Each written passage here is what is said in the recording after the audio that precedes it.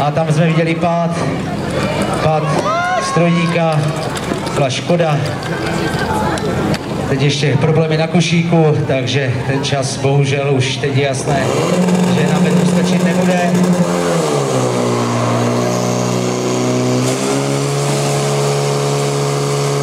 Terče máme dole, čas 23 639, je to čas pravého proudu na levém 22